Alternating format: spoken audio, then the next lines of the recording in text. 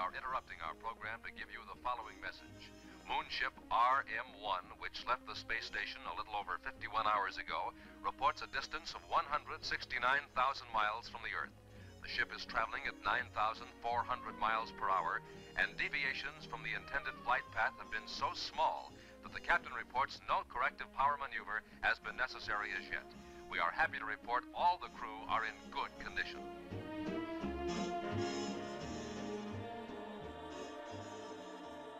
This model will show you how our future moon rocket ship might be designed. It will be 53 feet in length, has no wings or tail surfaces, because it will be assembled and operated only in the vacuum of space. For the hull of the ship, we are adapting the cabin section of one of the Earth to Space Station passenger rockets.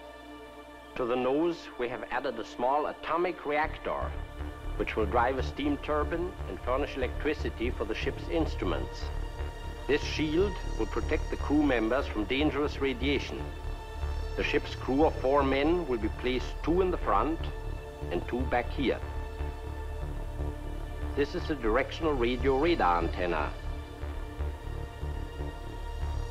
Located underneath is the airlock for a spacesuit. The captain is the last man to come aboard. He will direct the entire expedition from his position at the front of the ship. After final instrument check, the ship's crew lock themselves in position for the blastoff. Now, only minutes remain until firing time. The captain sets the automatic firing timer and reports to the space station. RM1 to Station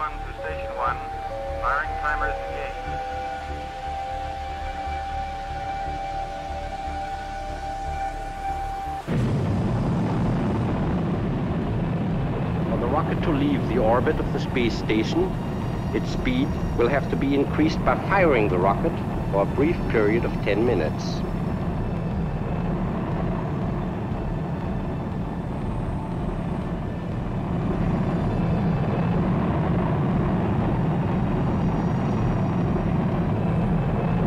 Captain, to engineer, give me a Form 27-1 report. Over. Engineer to Captain. Motor pressure 447 psi, 3 low. Turbo pump 11,000 RPM, right on the button. Actuators steady. Guidance readings okay. Cabin pressure 0.3 psi low. Cabin temperature 72 degrees. Over.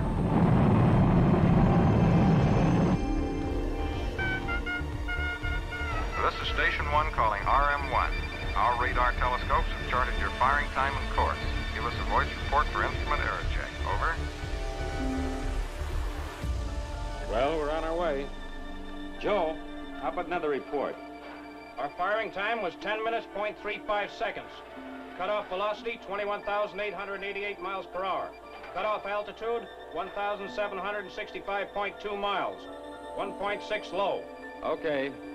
Now let's double check that star tracker with an optical and radar fix. Right. The primary purpose of the first moon trip will be to test the methods and equipment to be used on later voyages into deep space. It will be essentially a scouting trip around the moon, and no landing will be attempted. Since the first half of the trip will take five days, we must aim the ship well ahead of the moon so that they both arrive at about the same point in space at the same time. As the 116th hour approaches, the navigator must act quickly to avoid a collision with the moon. He starts the tape selector, which will automatically correct the rocket's course by firing the motors for a precise number of seconds. RM1 to Station 1. At 116 hours, conducting power maneuver on correction tape 340. Out. The Earth's gravity begins to slow the rocket down until 121 hours later, at a point within 60 miles of the moon's surface, it will begin to fall back toward the Earth. Gradually picking up speed, it will take another five days to coast back to the space station. The next few hours will constitute the most important phase of the trip. The moon is sweeping past the ship at great speed. In a brief span of about three hours, all close-up observations of its unknown surface must be completed.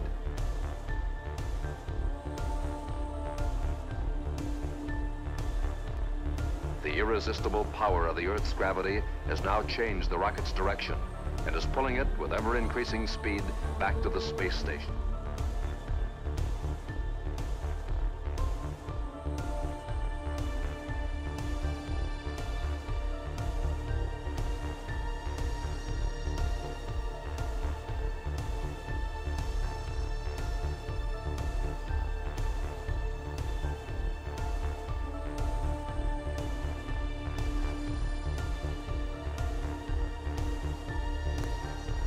240 hours, preparations are being made to enter the orbit of the space station.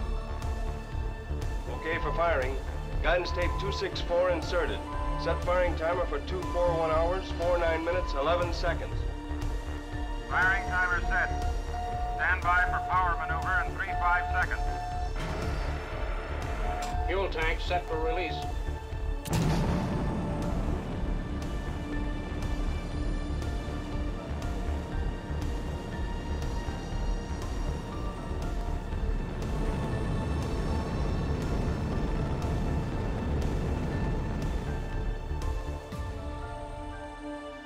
Ladies and gentlemen, you have just witnessed the first successful voyage into interplanetary space. This pioneer trip around the moon will soon be followed by an expedition which will actually land on the moon's surface.